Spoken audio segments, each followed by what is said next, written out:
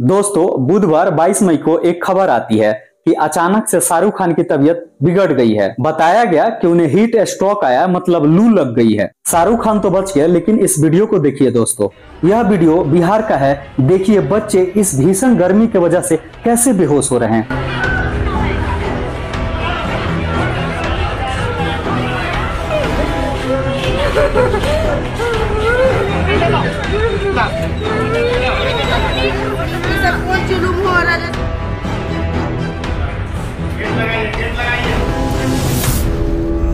इन सारे आर्टिकल्स को देखिए दोस्तों।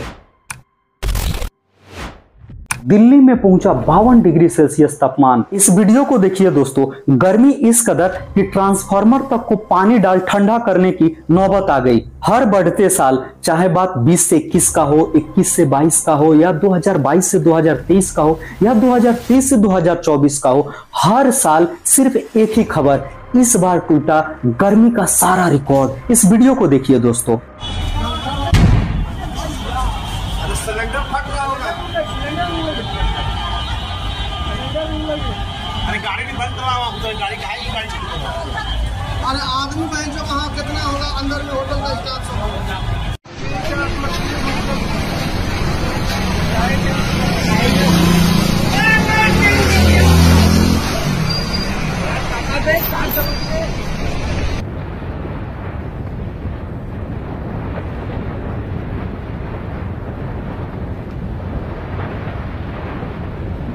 बार इतनी गर्मी कि पक्षी भी बेहोश होकर नीचे गिर रहे हैं। जब इंसानों का ये हाल है तो भला इन बेजुबानों को कौन पूछता है? इस वीडियो को देखिए दोस्तों, राजस्थान का है। गर्मी इतनी भयंकर कि रेत तक उबलने लगी। फिर बड़ा सवाल आता है कि आखिरकार इस बढ़ती हुई गर्मी का वजह क्या है? इसके दो मुख्य वजह है। पहला तो एंथ्रोपोजेनिक मतलब जिसका जिम्मेदार इंसान है, और दूसरा एक नेचुरल प्रोसेस जो हर दो से सात साल में हमारे प्रकृति में घटता है, जिसे हम अल नीनो या ला नीना इफ़ेक्ट के नाम से भी जानते हैं। अल नीनो मतलब गर्मी, और ला नीना मतलब ठंडा ये दोनों ही एक दूसरे के अपोजिट होते हैं और दोनों ही अपोजिट क्लाइमेट चेंज रिप्रेजेंट करते हैं। 2024 में हमारी पृथ्वी ऐसे ही एक अल नीनो इफ़ेक्ट से गुजर रही है। इस साइकिल का नाम है El Nino southern oscillation E N SO pacific ocean में ईस्ट से वेस्ट की तरफ़ चलने वाली हवाएँ जिन्हें ट्रेड विंड्स भी कहा जाता है, जो कि जिम्मेवार है अल नीनो और लादीना इफ़ेक्ट के पीछे। ज़्यादातर टाइम ये ट्रेड विंड्स अमेरिका से लेकर एशिया और ऑस्ट्रेलिया की तरफ़ फ्लो करती है, क्योंकि हमारी पृथ्वी वेस्ट से ईस्ट की तरफ़ रोटेट करती है, जिसे कोरोलिस इफ़ेक्ट भी बोला जाता है, जिसके वजह से पैसिफिक ओशियन का पानी ऑस्ट्रेलिया के तरफ़ फ्लो करने लगती है और जो पानी नीचे से ऊपर की तरफ़ आती है, वो ज़्यादातर ठंडा होती है, इन कंपेरिजन जो समुद्र के सतह का पानी है, उसके। और इस प्रोसेस में जो गर्म पानी है, वो ऑस्ट्रेलिया की तरफ़ चली जाती है। और जो ठंडा पानी है, वो अमेरिका की तरफ़ आ जाती है। अब जो गर्म पानी ऑस्ट्रेलिया की तरफ़ गई है, वो जल्दी वाष्प में बदल जाएगी, जिसके वजह से हमें ऑस्ट्रेलिया की तरफ़ बारिश देखने मिलती है। अब होता क्या है, ये ट्रेड विंड्स कभी कभी बहुत ही कमज़ोर पड़ जाती हैं, जिसके वजह से जिस गर्म पानी को ऑस्ट्रेलिया की तरफ़ आना था, वो कभी ऑस्ट्रेलिया की तरफ़ आता ही नहीं, कहीं बीच समुद्र में ही रह जाता है। सो, जिस बारिश को ऑस्ट्रेलिया की तरफ़ होना चाहिए, वो बारिश कहीं प्रशांत महासागर के बीच में हो जाता है और इसी के वजह से 2020 में हमें भयंकर वाइल्ड फायर ऑस्ट्रेलिया में देखने मिला था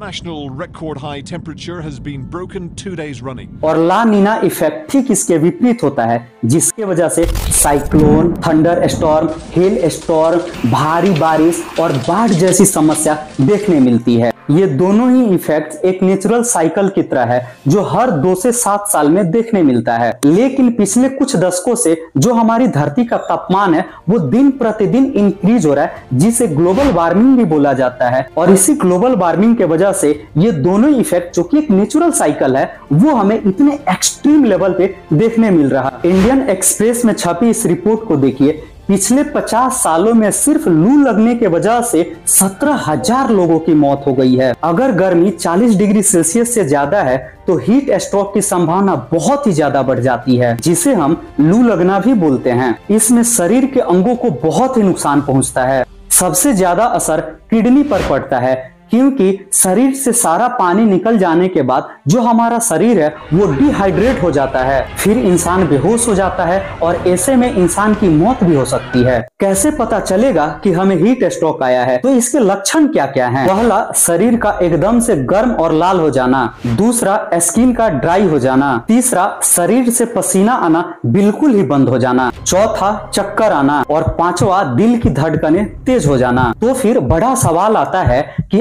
आखिरकार हम हीट स्ट्रोक से बचे कैसे? इससे बचना इतना भी मुश्किल नहीं। बस आपको बेहोश होने से पहले किसी भी तरीके से अपने बॉडी को ठंडा करना पड़ेगा। इससे बचने के लिए एक देसी जुगाड़ भी है।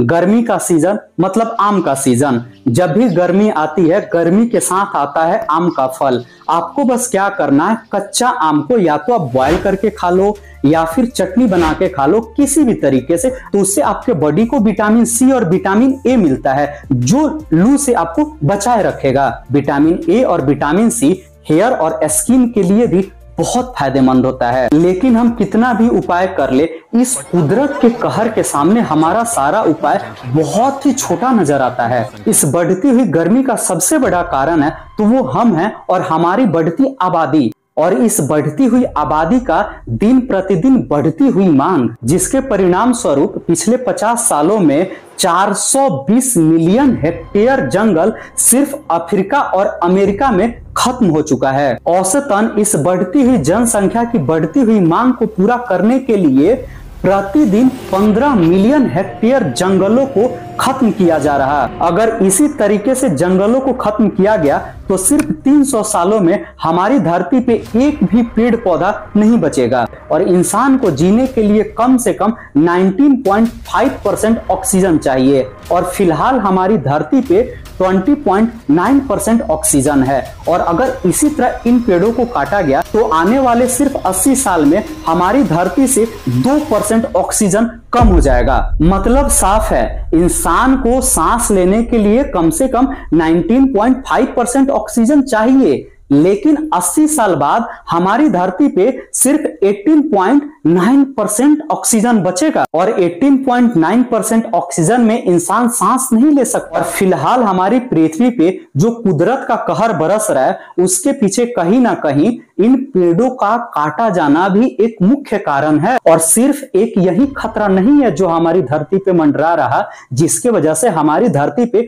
ऑक्सीजन कम होने वाला है। दोस्तों, क्या आपको पता है पेड़ पौधे सिर्फ़ 30 परसेंट ऑक्सीजन ही देते हैं। शेष 70 परसेंट ऑक्सीजन समुद्र में मौजूद फाइटोप्लैंक्टन के द्वारा रिलीज़ किया जाता है। जैसे धरती से पेड़ पौधे खत्म हो रहे हैं, वैसे ही समुद्र में मौजूद फाइटोप्लैंक्टन पे भी एक बहुत ही बड़ा खतरा मंडरा रहा जो आपको हमारे नेक्स्ट वीडियो में देखने मिलेगा। अभी तो गर्मी से हम सिर्फ़ परेशान हो रहे हैं। बहुत जल्द देखिए क्या क्या होता है। बिना ऑक्सीजन आपको भी पता है कि कोई भी इंसान पाँच मिनट से ज़्यादा ज़िंदा नहीं रह सकता। पता नहीं आप दिल्ली के ऑक्सीजन बार में कभी गए हो कि नहीं।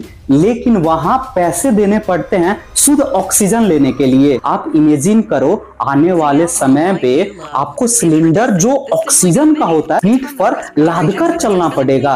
फिर वो दिन कैसा होगा? आज पानी बिक रहा, कल ऑक्सीजन बिकेगा हमने पहले ही अपने हवा और जल को काफ़ी प्रदूषित कर दिया है। जल तो इस कदर प्रदूषित हो चुका है कि हमें बीस रुपया का बोतल खरीद कर पानी पीना पड़ रहा और बहुत जल्द ऑक्सीजन भी बिकने वाला है, जिसकी शुरुआत तो दिल्ली में कब की हो चुकी है, ऑक्सीजन बार खोलकर। सिर्फ़ 80 साल में हमारी धरती पे शुद्ध ऑक्सीजन नहीं बचने वाला। लोग ऑक्सीजन की कमी से मरेंगे और मरना भी चाहिए। क्योंकि यही लोग जिम्मेवार हैं। आज जो हमारी धरती का यह सिचुएशन है, इसके लिए। ये लोग मतलब आप, मैं, हम सब नमानी गंगे याद होगा आपको, हमारी सरकार बहुत ही सुर्खिया बटोरी थी गंगा को साफ़ कराने के नाम पर। बीस हज़ार करोड़ रुपए का फंड अलॉट भी कर दिया गया। जिसमें बहुत बड़े बड़े कंपनी शामिल थे। और आप आज जाके हकीकत देखो ना, क्या गंगा साफ़ हुई? बिल्कुल ही नहीं। आज जिस हालत में हमारी गंगा नदी है, उससे भी कहीं बदतर स्थिति था,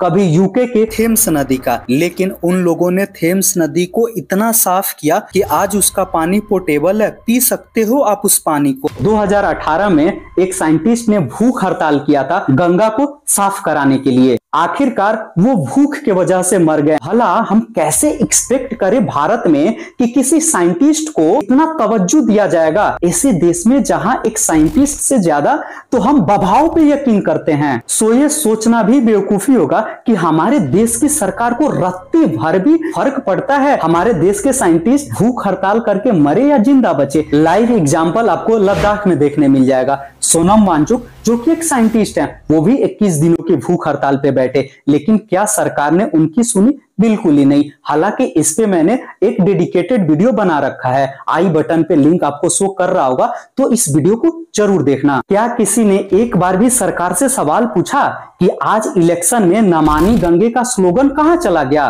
बीस हज़ार करोड़ रुपए जो नमानी गंगे के नाम पे फंड अलॉट हुआ था, आखिर वो पैसे कौन खा गया? वो पैसे गया कहाँ? आज पानी बिक रहा। अगर गंगा नदी का पानी पीने लायक हो जाए तो क्या देश में ऐसा सिचुएशन होगा कि आप एक बोतल की पानी बीस रुपए में खरीद के पियो। इसीलिए हमारे देश के कॉरपोरेट सेक्टर कभी चाहेंगे ही नहीं कि हमारे देश की जो जल है, वो साफ़ हो। 2024 में यह बिज़नेस 1.02 यूएसटी डॉलर का है, जो कि 2029 तक 1.72 यूएसटी बिलियन डॉलर का हो जाएगा। मतलब सिर्फ़ चार सालों में हमारे देश की जो जल है, वो 50 परसेंट से ज़्यादा दूषित होने वाली है। तो दोस्तों क्लाइमेट क्राइसिस का आप ये सेकेंड एपिसोड देख रहे थे।